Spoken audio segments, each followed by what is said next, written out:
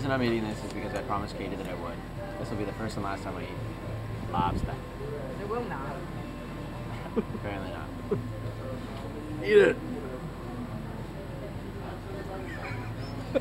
So good! I'm jealous of you right now.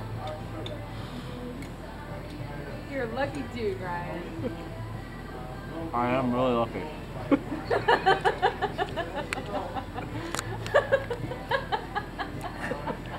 How's it taste?